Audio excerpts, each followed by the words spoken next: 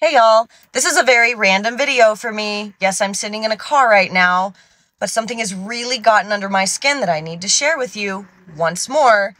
Mining is essential. If you're watching this video, or if you've ever watched television, or used your cell phone, or flipped on a light switch, you are benefiting from mining. This isn't a hard concept to grasp.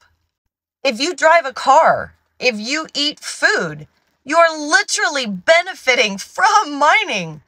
I don't know why this is hard to understand. Gold mining, copper mining, silver mining, any form of metal mining is essential. Like I've said before, unless you're living naked in the woods, you don't have a leg to stand on. If you can't grow it, it must be mined.